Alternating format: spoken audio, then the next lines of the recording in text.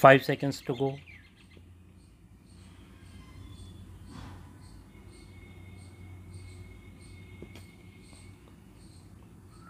Start. As our chairman reminded you, our neighbors are all the countries of the world now, so that we can relate our foreign policy just to a few countries around us, but have to think of practically every country in the world and take into consideration all the possible areas of conflict, trade, economic interest, etc. It has been recognized now that if there is a conflict on a big scale anywhere in the world, it is apt to spread all over the world. That is, war has become indivisible and therefore peace is indivisible. Therefore, our foreign policy cannot limit itself to the nearby countries. Nevertheless, the nearby countries always have a special interest in one another, and India must inevitably think in terms of her relations with the countries bordering her by land and sea. What are these countries? If you start from the last, Pakistan, I would also include Afghanistan, although it does not touch India's borders, Tibet and China, Nepal, Burma, Indonesia, and Ceylon. In regard to Pakistan, the position has been a very peculiar one owing to the way Pakistan was formed and India was divided. And there have been not only all the upsets that you all know, but something much deeper, and that is a complete emotional upset of all the people in India and Pakistan because of this. It is a very difficult thing to deal with, a psychological thing which cannot be dealt with superficially.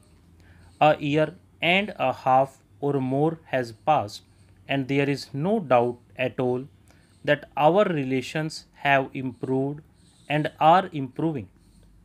There is also no doubt at all in my mind that it is inevitable for India and Pakistan to have close relations some time or other in the future. I cannot state when this will take place, but situated as we are with all our past, we cannot really be just indifferent neighbors. We can be either hostile to each other or very friendly to each other. Ultimately, we can only be really very friendly, whatever period of hostility may intervene in between, because our interests are so closely interlinked. As far as the other countries are concerned, our relations with others are quite friendly.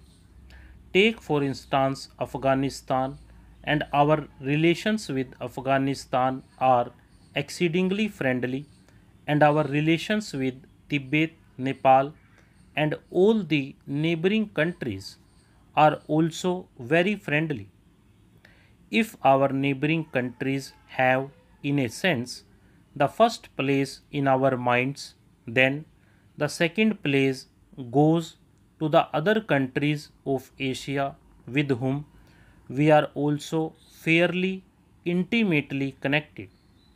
Now, India is very curiously placed in Asia and her history has been governed a great deal by the geographical factor plus other factors. Whichever problem in Asia you may take up, somehow or other, India comes into the picture. Whether you think in terms of China or the Middle East or Southeast Asia, India immediately comes into the picture.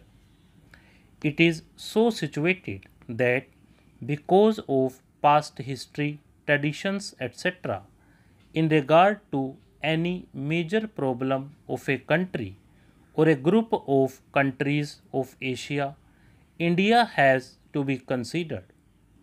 Whether it is a problem of defense or trade or industry or economic policy, India cannot be ignored. She cannot be ignored because, as I said, her geographical position is a compelling reason. She cannot be ignored also because of her actual or potential power and resources. Therefore, whatever our own views may be, by virtue of her practical position and other reason, India is bound to play an important part in Asia, whether it is Western Asia or the Far East to Southeast Asia. It so happens, of course, that even culturally speaking, our bonds are very great with all these parts of Asia, whether it is Western Asia of the Far East or Southeast Asia, and these bones are very old and very persistent. A very curious thing happened when, roughly speaking, British power came to India and British dominion was established here. This was the reason why we were cut off from our neighboring countries of Asia. Our contacts were then with England across the seas, and while to some extent we struggled against that domination and resented those contacts, nevertheless they were there and we saw the world more and more through that window, the British window. Very few people went to the other Asian countries from India, and very few came here from there. And even those few people from Asia we met, we met in Europe and not in Asia. Now in recent years that process has been reversed or is being reversed for a variety of reasons. Initially, I suppose the one major factor was air travel. Air travel brought us immediately into close contact with our neighbors because if we went to Europe we passed through Baghdad and Tehran and other places.